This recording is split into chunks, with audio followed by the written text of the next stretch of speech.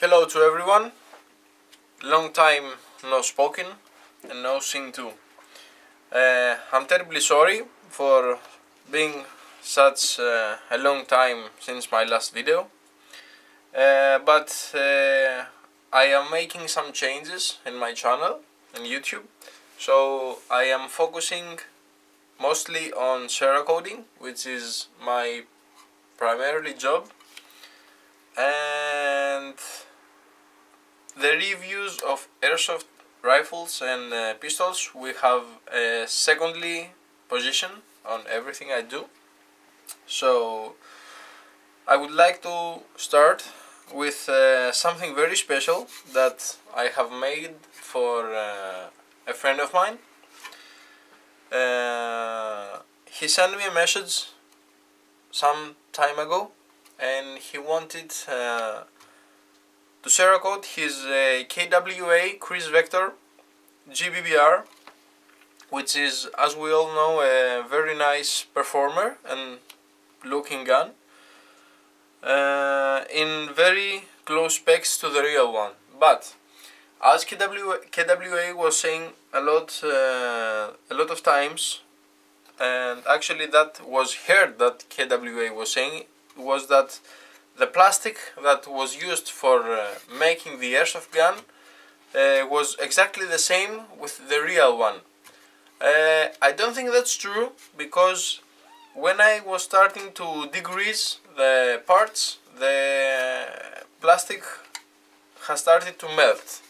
So that was showing that it was not in a polymer form and that it was a, a much lower one so uh, after that it was very difficult to degrease it because I would have to use only dish soap and alcohol but we made it.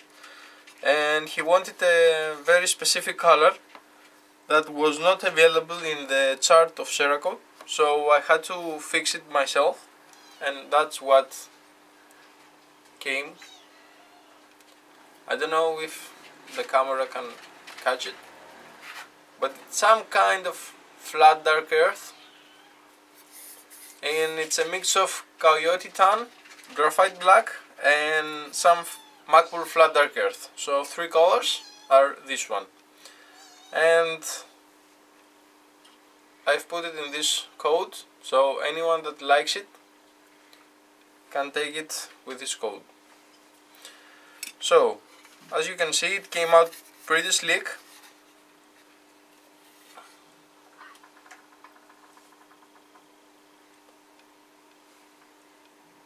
No loses. No misses anywhere. I never Cerakote too much on the inside because there are mag insert problems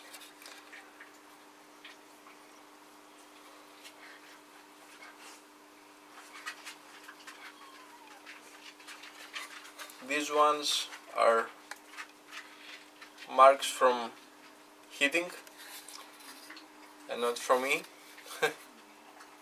This one too. It's a deep one.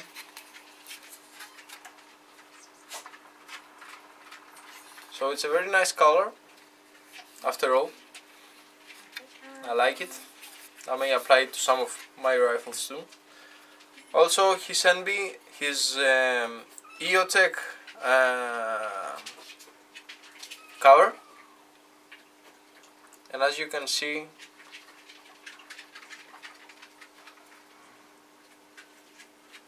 the markings are kind of preserved.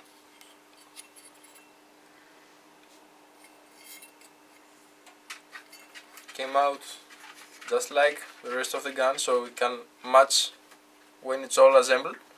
And the stock as we remove the cheek pad and Cerakoted the whole other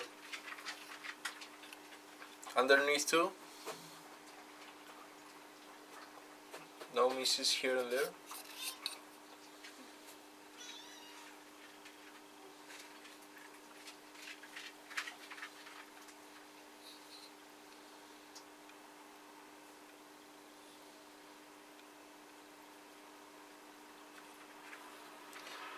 so that's it for the start. Um, if you want any tips on plastic curing I would say that uh, in these kind of situations you will have to cure it in lower temperatures like 60 degrees uh, because it will melt otherwise. Uh, otherwise you will have big problems and will risk of uh, melting the products or either damage it. And that's not good. And I can say that the cat agrees with me. Uh, so that's it for a start. Uh, I will have more videos coming uh, up as the time goes by soon enough I will have a, the Nightstorm 1911 from Army Armament which is a gas blowback uh, pistol to show another custom color that I have fixed. And a Cyma AK-74 which has been coated in graphite black but uh, it's a bit glossier uh, because I wanted that kind of look to match the original Voron color.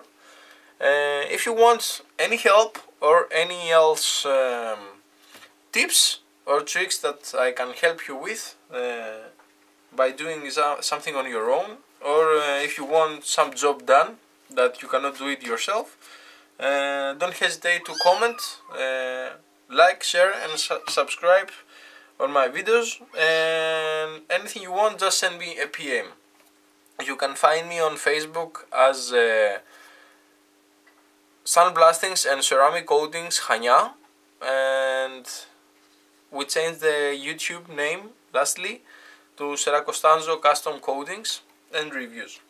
So that's it. Thank you very much for your time and God bless you all.